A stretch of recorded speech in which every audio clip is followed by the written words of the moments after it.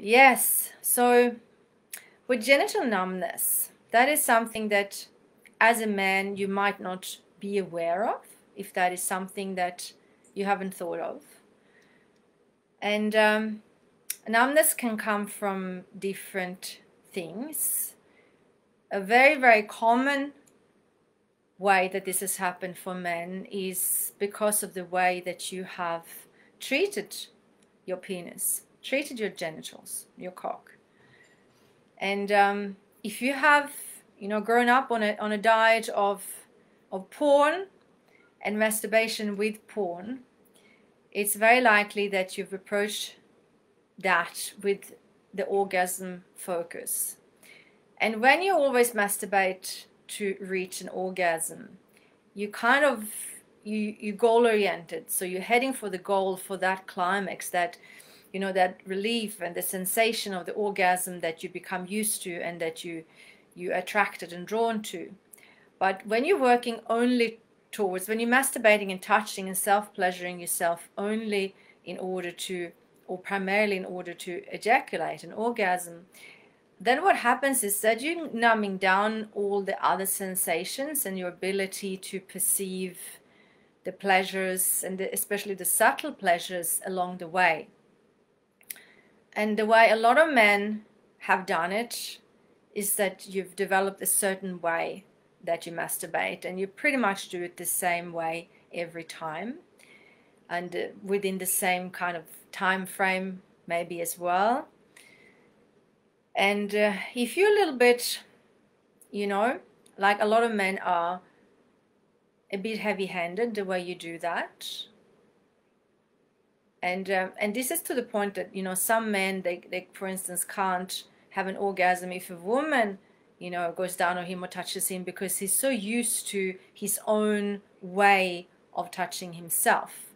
So that might be hard and fast and in a certain way that you do it. And if you've been doing that with porn, where you are projecting your attention towards, you know, the porn stars on the screen, and in that way you're disconnecting from what's really going on with you. So you're not really with yourself but you're somehow projecting your energy and your awareness onto the screen. And the only thing that is you know the the the goal is the orgasm. The death grip exactly. Yeah. The death grip um in the long run will or maybe not even long run it will pretty quickly start to numb down your ability to feel the subtle sensations. And um, yeah so this is something that's also in a way I've, it's very very sad i find it also because many men have disconnected from their genitals. And that is also part from part of the conditioning we grown up with religious conditioning perhaps you know other kind of experiences of of trauma or shame in in childhood and somehow you've disconnected and there's also a build up of of tension and, and emotions in your genitals. And a woman can feel this if she's making love with you. You can feel the tension when a man is penetrating you and his his penis is tense and it's got like emotions in there and you can't really connect. It's like he's using a tool that's maybe made out of some other material, you know, not flesh, not living a living human, but it feels like it's just using a tool. And that's what happens when you've been numbing yourself down through repetitive masturbation with the death grip.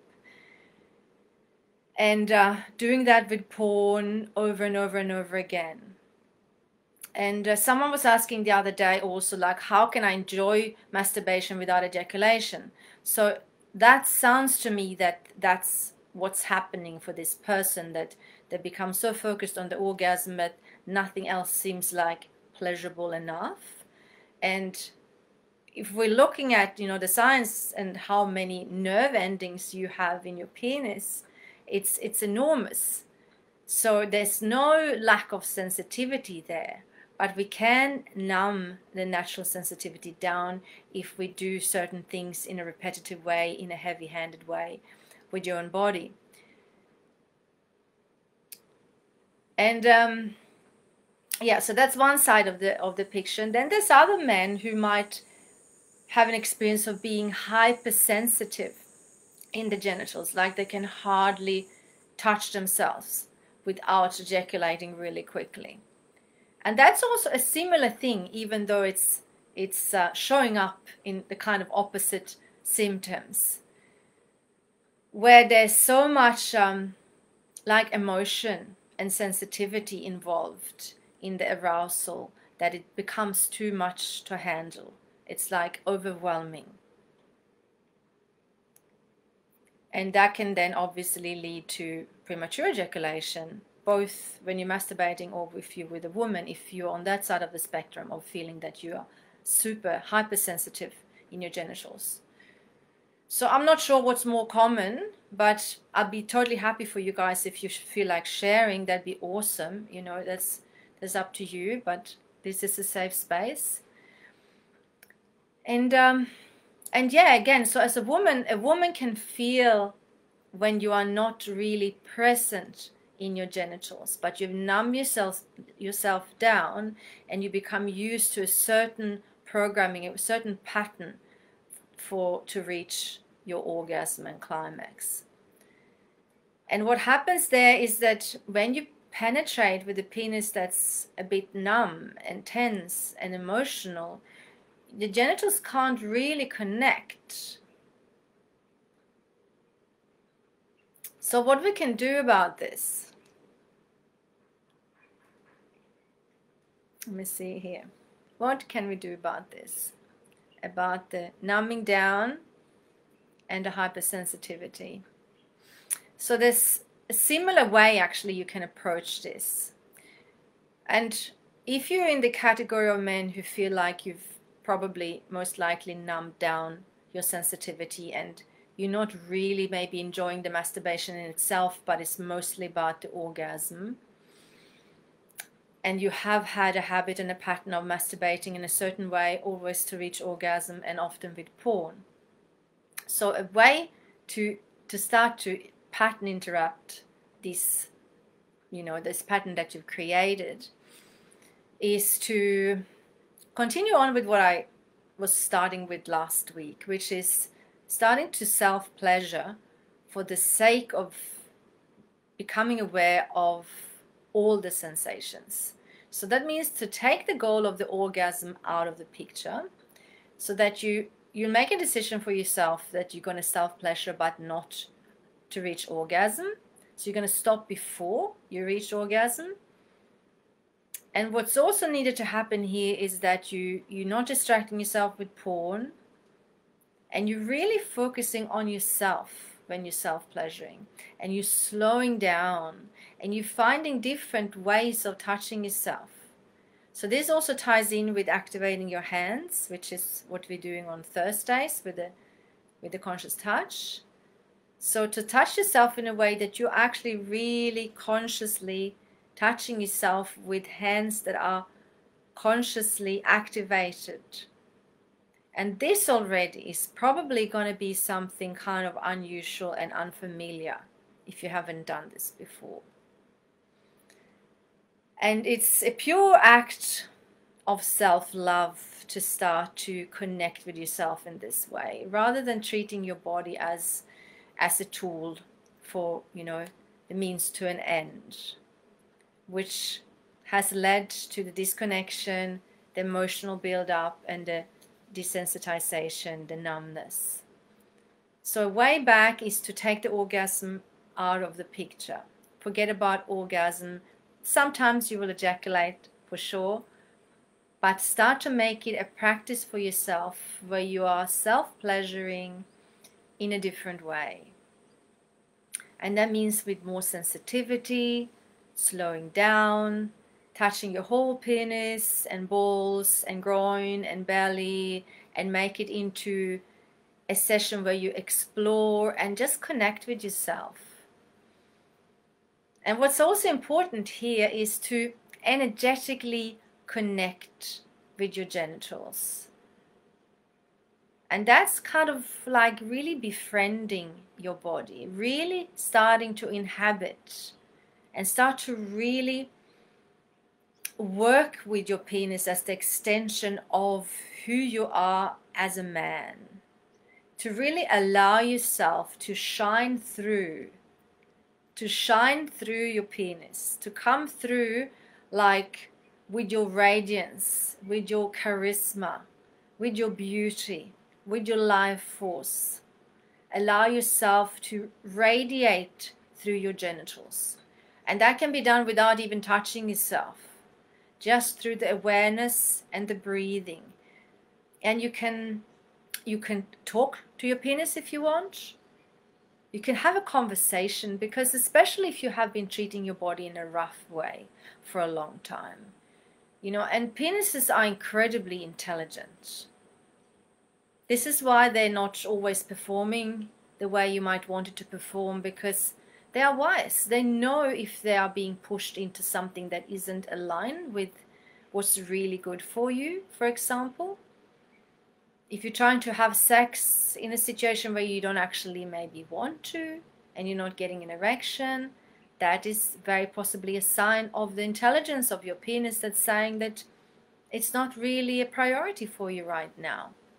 And if you've been forcing yourself, trying to force erections, for example, if erectile challenges is something that you've experienced, that's even more violence towards your own body and further serves to disconnect you from this glorious part of who you are as a man. So the journey back is about connection. And a lot of you have mentioned connection. I had a quick look at the poll the poll we did yesterday and connection is leading as the as the most important aspect of of lovemaking and intimacy for you guys or at least the ones that have answered so far so it's all about connecting with yourself first and if this is something you haven't been used to do then there'll be a little journey and you can approach that in little ways by like I said, self pleasure without reaching orgasm and without without porn, with in a gentle and loving way touching yourself. So find different ways. Stay away from the way you normally do it and find different ways of touching yourself that is not focused on trying to climax fast, but it's just focused on connecting with yourself and discovering the full range of your sensitivity the subtle pleasures. And something that can be really, in a way, the most effective with this as well is to just hold your penis. Just hold it. So here you would activate your hands so that you're really touching yourself with conscious touch and really holding your genitals. Holding and connecting, holding still and really allow yourself to connect with your own genitals. And if you've had trauma, if you've had negative experiences, if you've had erectile issues or premature ejaculation or any other kind of negative experience in regards to your body and your sexuality, the healing touch is one of the first and best approaches you can use to start to unwind these past experiences and the way that they have influenced your connection with your own body. So, totally pattern interrupting what you've done previously. And if you're still going ahead and masturbating, you know, furiously with porn and trying to do this practice, it's going to be less successful. So, I really encourage you to choose a practice like what I'm describing for for a longer period of time, for a stretch of time, to really notice what changes so you can really see and feel for yourself the shift. And let us know what you're discovering. So, this is about bringing back that aliveness and the ability to feel the subtle sensations that you lost when you treated your genitals in a rough way, in a disconnected way. or when you're carrying where you're carrying you know negative experiences from the past maybe from childhood maybe from circumcision who knows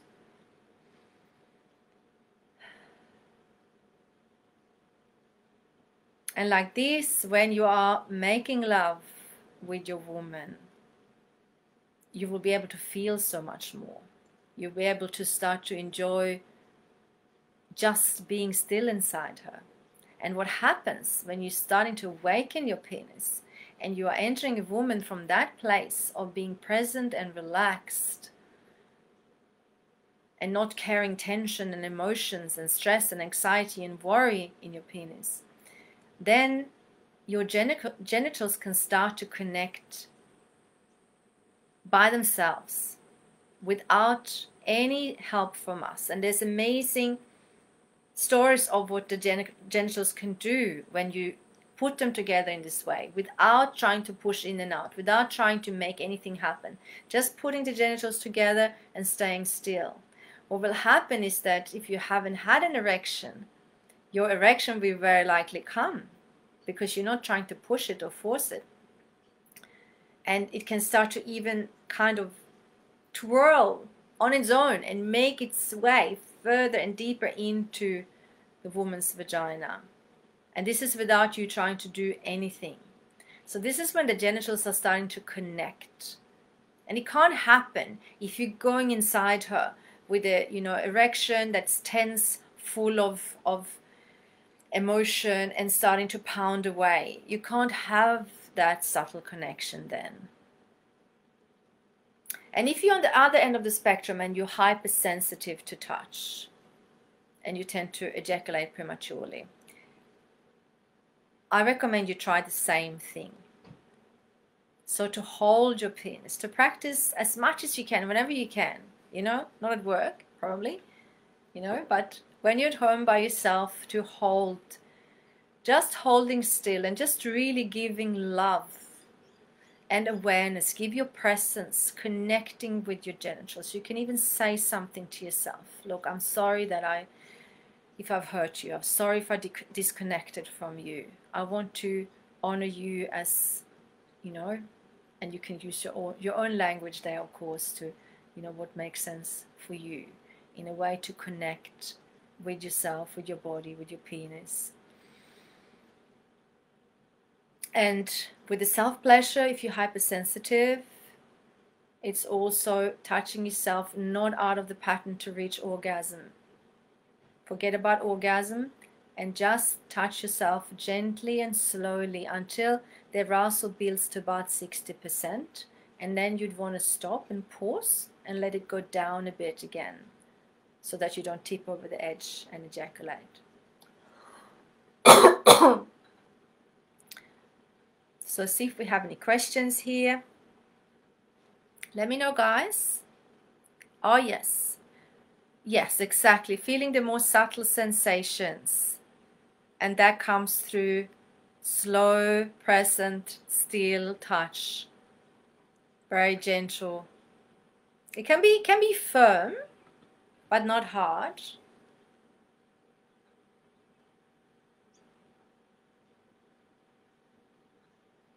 Yeah, interesting. Yeah. That you can be sure that there's beliefs behind behind this numbing down.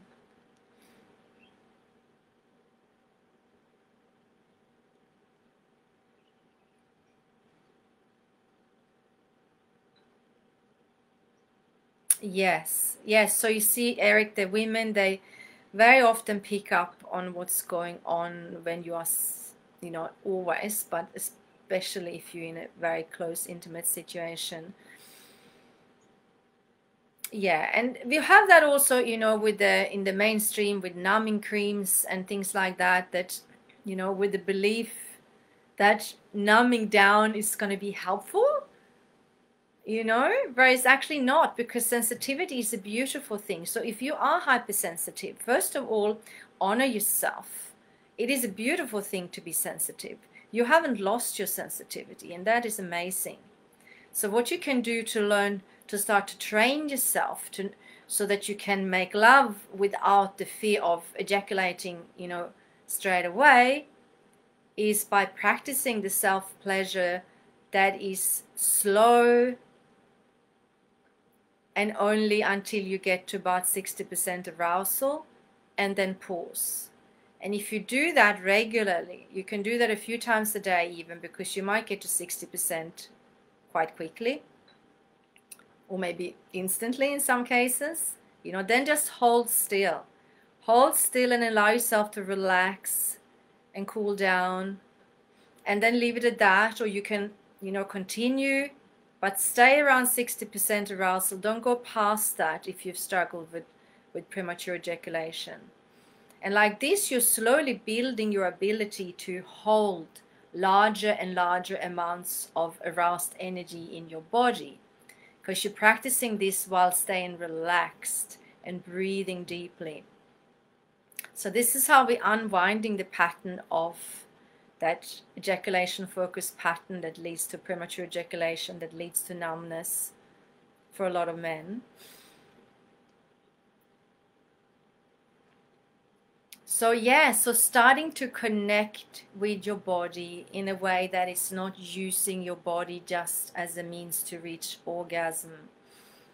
And this is going to completely shift your sexual experiences because you're bringing presence and awareness into your genitals and then they start to come alive because they're going numb if you're using them just if you're using your genitals just as sorry I need some water. If you're using your genitals just as a tool they'll start to it will start to close down and lose sensitivity and it be just like you know a dead object in a way you know so to come back to that sensitivity, it's about completely taking the ejaculation out of the picture. Doesn't mean that you won't ejaculate. Sometimes you will. Sometimes it's a good thing to do, but that doesn't need to be very often. If you're a young man, ejaculation once a week, plenty. And if you're in your 40s, maybe once a fortnight or even less. So practicing to build arousal in a way that you're connecting with yourself. You're not just using your body because it's like you. It's in a way. I mean, it's so much talk about women being objectified, but men have also been objectified. Male, male penises have been objectified. You know, are being objectified so much, and then yeah, it becomes just an object that the woman can't actually really connect with. Her vagina can't connect with the penis. It might be huge and rock hard, but there's not presence in it. And then the connection doesn't happen. And it's another thing I wanted to mention here too is that there's some men who um, some men who have an a, a, kind of other thing happening, which is like a penis obsession, like a glorification of their genitals. This is most likely the men who are sending dick, dick pics and who are uh, on the internet, on the dating sites, you know, trying to show off the genitals and wanting women to to tell them, you know, tell me is it is it good? Do you like it? Is you know, is it the size good enough? Obsessing about the size. And that that is also like a sign of that there's actually not really a connection happening there with the genitals.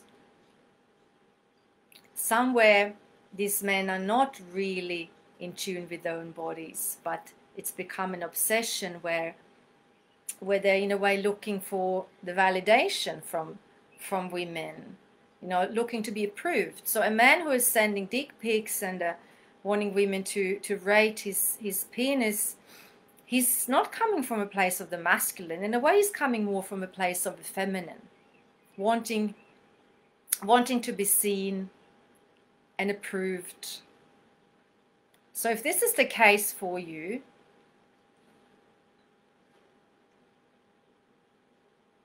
if this is the case, which is there's a certain amount of population, I don't know how many percent. I read somewhere 8%, maybe, you know, but there's a fair few men out there who are obsessively sending dick pics and, you know, really, really all the all the focus goes into the size of the penis and and kind of but generally they wouldn't be the men who have amazing sex lives and amazing connection amazing real connection with women but it's kind of all a bit of a mind trip all a bit of an externalized experience of the sexuality which is so much induced by porn because that's that whole thing of living our sexuality through an image of something that is not even here and now. So, what we're doing here is so much about bringing your sexuality back home to yourself. Really home to yourself so that you're not living your life and your sex life through the means of somebody else's life, some porn star's life, but actually living your own best sexual experiences, empowering yourself to have the best sexual experiences and sexual fulfillment you can possibly have in this lifetime. And for that, you don't need porn. You need to connect with yourself and with your body, learn how to really come alive, learn how to be able to hold your arousal while staying relaxed, while staying in your body, and be able to share this with a woman so that she can really feel you and connect with you. So I think that's enough for today. These are topics that are huge, obviously, and could go off in any direction, but I'm not going to stay here the whole day. So, yeah, thank you so much, Eric, for sharing this.